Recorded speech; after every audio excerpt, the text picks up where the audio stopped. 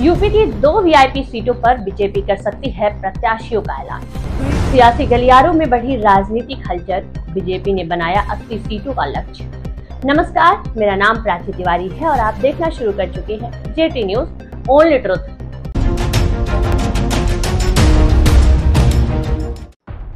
आने वाले लोकसभा चुनाव के लिए राजनीतिक पार्टियों ने अपनी अपनी तैयारियाँ शुरू कर दी हैं, जिसमें से एक सत्तारूढ़ भारतीय जनता पार्टी भी है। बीजेपी इस बार लोकसभा में तीसरी बार चुनाव जीतने के लिए मैदान में उतरेगी, जबकि विपक्ष एकजुट होकर भगवा पार्टी को रोकने का प्रयास करता दिखेगा।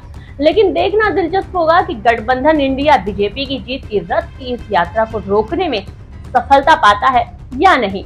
कहा जाता है कि दिल्ली की सत्ता देश के सबसे बड़े लोकसभा सीटों वाले राज्य उत्तर प्रदेश से होकर जाता है। जो इस सूबे को जीत लेता है, उसी का राज राष्ट्रीय राजधानी पर होता है। इसी को देखते हुए सत्ताधारी पार्टी बीजेपी ने नई रणनीति बनाई।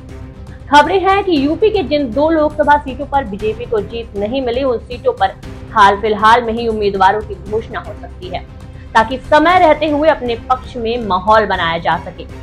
बता दें, उत्तर प्रदेश के जिन दो सीटों पर बीजेपी की नज़र है, वो कांग्रेस नेता सोनिया गांधी की संसदीय क्षेत्र रायबरेली है, जबकि दूसरा समाजवादी पार्टी का गढ़ मैनपुरी।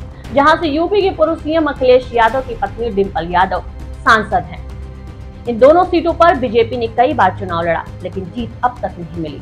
इन दो संसदीय सीटों को जीतने के लिए बीजेपी नई रणनीति तैयार कर रही है।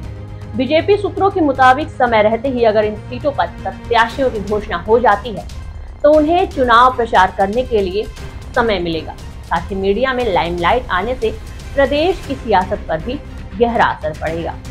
जिससे पार्टी को भी फ़ायदा हो सकता है।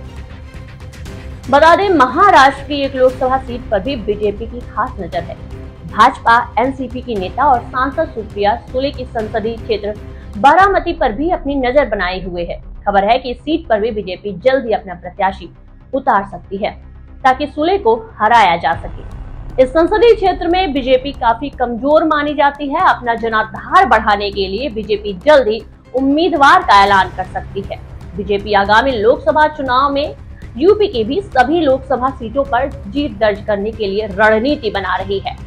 हाल ही में बीजेपी ने यूपी के अपने सभी सांसदों से अपने क्षेत्र में किए गए कामों का लेखा जोखा मांगा था। हाईकमान ये सुनिश्चित करने में लगा हुआ है कि कैसे विपक्ष को पिछले लोकसभा सीटों से कहीं ज़्यादा वोट से मात दी जा सके। इसके लिए सभी सांसदों को अपने अपने संसदीय क्षेत्र में जाने और लोगों की समस्या का समाधान करने के लिए कहा गया है। ताकि सत्ता के प्रति लोगों में खींच ना हो सके। यूपी में कुल अस्सी लोकसभा सीटें हैं। ऐसे ही वीडियोस के लिए बने रहिए हमारे साथ। वीडियो अच्छी लगी हो तो चैनल को फेसबुक पर फॉलो करें और यूट्यूब पे सब्सक्राइब करना ना भूलें।